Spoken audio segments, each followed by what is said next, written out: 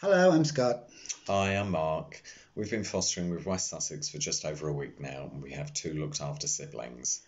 To us, fostering means giving a child a positive experience within a loving home uh, with structure, rules, and boundaries combined with emotional support. Um, seeing them develop, um, progress at school, and dealing with their own emotions and processing what's happening is very rewarding. So we took on our two right during lockdown, uh, but fostering during the coronavirus has actually worked out quite well for us.